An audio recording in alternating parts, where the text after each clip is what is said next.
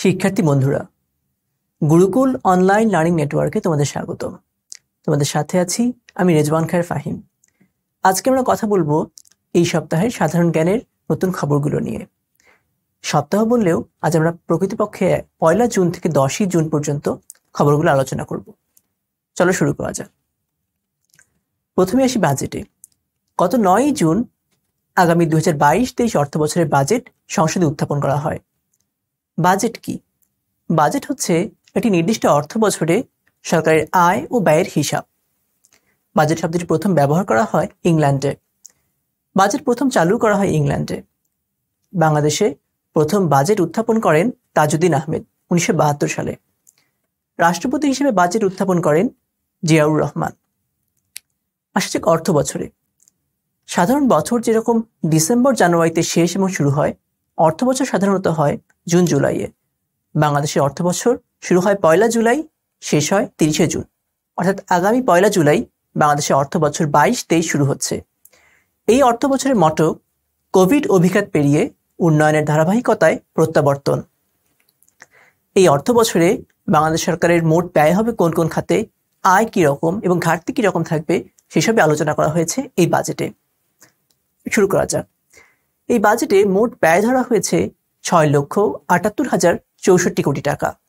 মোট আয় চার লক্ষ তেত্রিশ হাজার কোটি টাকা এবং মোট ঘাটতি দুই লক্ষ পঁয়তাল্লিশ হাজার চৌষট্টি কোটি টাকা। আয়ের ক্ষেত্রে একটি গুরুত্বপূর্ণ বিষয়, বাংলাদেশের মোট আয়ের উল্লেখযোগ্য অংশ বাংলাদেশের সরকারি আয়ের সর্ববৃহৎ অংশ আসে ভ্যাট থেকে। ভ্যাট পূর্ণরূপ হচ্ছে ভ্যালু অ্যাডেড ট্যাক্স বাংলায় বলে মূসক বা মূল্য সংযোজন কর। আমরা বিভিন্ন পণ্য বা সেবা যখন নেই, তখন তার সাথে একটি নির্দিষ্ট পরিমাণে ভ্যাট অ্যাড করা থাকে। উনিশশো একানব্বই সালে বাংলাদেশ মুক্তবাজার অর্থনীতিতে প্রবেশ করে। সে বছরই পয়লা জুলাই বাংলাদেশে ভ্যাট চালু করা হয়। ভ্যাট একটি পরোক্ষ কর, আর প্রত্যক্ষ করের মধ্যে রয়েছে আয়কর বাজেটের ক্ষেত্রে দু ধরনের হতে পারে।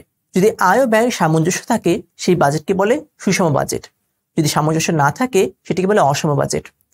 যদি আয় ব্যয়ের চেয়ে বেশি হয়, অর্থাৎ উদ্বৃত্ত থাকে, সেটিকে বলে উদ্বৃত্ত বাজেট। আর ব্যয় আয়ের চেয়ে বেশি হলে, সেটিকে বলে ঘাটতি বাজেট। বাংলাদেশের বাজেটে যেহেতু আমরা দেখতে পাচ্ছি ঘাটতি রয়েছে, দুই লক্ষ পঁয়তাল্লিশ হাজার চৌষট্টি কোটি টাকা, বাংলাদেশের বাজেট একটি ঘাটতি বাজেট। এবার আসা যাক, এই বাজেটের লক্ষ্যমাত্রা কি? আগামী অর্থ বছরে এই বাজেটের লক্ষ্য হচ্ছে জিডিপি প্রবৃদ্ধি সাত দশমিক পাঁচ শতাংশে নেওয়া, মূল্যস্ফীতি পাঁচ দশমিক ছয় শতাংশ রাখা, মাথাপিছু আয় তিন হাজার সাত ডলার করা। বর্তমানে বাংলাদেশের মাথাপিছু আয় দু হাজার আটশো চব্বিশ ডলার। মাথাপিছু আয়ের হিসেবে বাংলাদেশ একটি নিম্ন মধ্যম আয়ের দেশ। এছাড়া ব্যক্তি খাতে বিনিয়োগ চব্বিশ দশমিক নয় শতাংশ।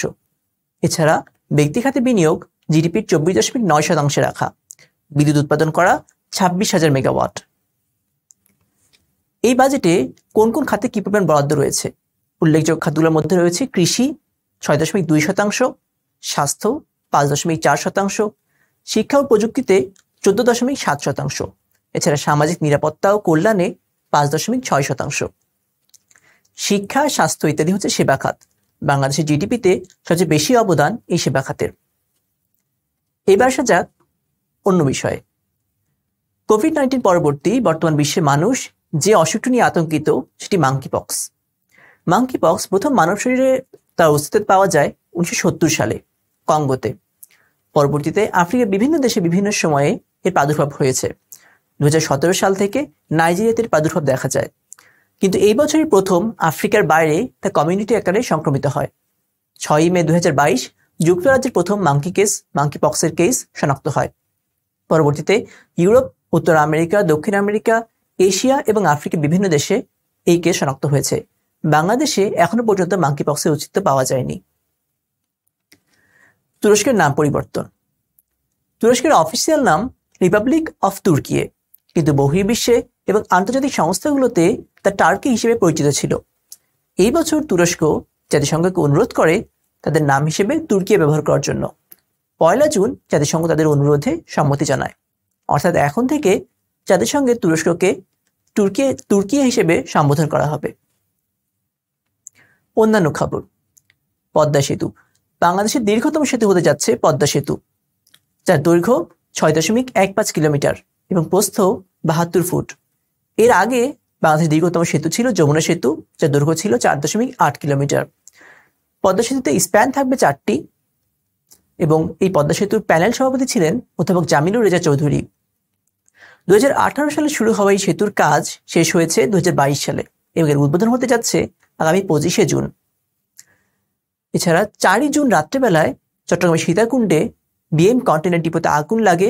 তাতে অন্তত একচল্লিশ জন মারা যান এবং সাড়ে চারশো জনের বেশি আহত হন। বাংলাদেশ এবং ভারতের মধ্যে বর্তমানে তিনটি অন্তর্দেশীয় ট্রেন চালু রয়েছে। মৈত্রী এক্সপ্রেস, বন্ধন এক্সপ্রেস এবং মিতালি এক্সপ্রেস। গত পয়লা জুন মিতালি এক্সপ্রেস বাংলাদেশ এবং ভারতের মধ্যে প্রথম চলাচল শুরু করে। আন্তর্জাতিক ক্ষেত্রে শ্রীলঙ্কায় সাম্প্রতিক অর্থনৈতিক এবং রাজনৈতিক অস্থিরতার প্রেক্ষিতে পদত্যাগ করেন সাবেক প্রধানমন্ত্রী মাহিন্দা রাজাপাকসে। তার পরবর্তী প্রধানমন্ত্রী হন রুনিলা বিক্রমাসিংহে। বর্তমানে অর্থনৈতিক সংকট মোকাবেলায় তিনি অন্তর্বর্তী বাজেট প্রণয়নে কাজ করছেন। এদিকে দোসরা এপ্রিল থেকে ইয়েমেনে দুই মাসের যুদ্ধবিরতি চলছিল। সৌদি জোট যুদ্ধবিরতির শেষ দিন দোসরা জুন এর মেয়াদ আরও বাড়িয়েছে। এই ছিল গত এক সপ্তাহের গুরুত্বপূর্ণ সাধারণ জ্ঞান সম্পর্কিত খবর। আজকের ক্লাস এই পর্যন্তই। আপনাদের কোনো মন্তব্য থাকলে কমেন্ট বক্সে জানাবেন এবং ক্লাসটি ভালো লেগে থাকলে লাইক কমেন্ট এবং সাবস্ক্রাইব করুন। ধন্যবাদ।